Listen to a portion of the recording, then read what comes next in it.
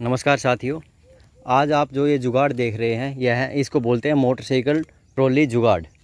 यह जुगाड़ बहुत ही सस्ता और अच्छा है। जो छोटे किसान होते हैं हमारे, जो ट्रैक्टर नहीं ख़रीद पाते हैं और जिनके पास दो से चार गाय, भैंस या कोई भी पशु है और उनको दिक्कत होती है गोबर डालने की, चारा ले जाने की तो यहाँ छोटे छोटे उनको दिक्कत होती है, जो बाइक पर नहीं हो पाती। लेकिन बाइक के पीछे अगर हम ये ट्रॉली बनवा लेते हैं तो इससे हमें काफ़ी फ़ायदा मिलेगा। इससे हमारा गोबर भी खेत में आ जाएगा और अपना जो चारा वगैरह हम खेत से ढो सकते हैं। इसकी कैपेसिटी जहाँ तक मैंने इसको यूज़ किया है, एक टन के आसपास ये लेकर चल सकती है।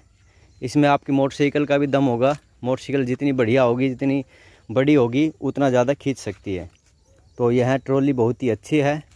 आप इसको किसी भी कारीगर से दिखाकर यह ट्रॉली बनवा सकते हैं।